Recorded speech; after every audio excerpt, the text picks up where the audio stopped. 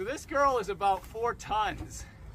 And so the big thing is, I do not want that four tons on my feet.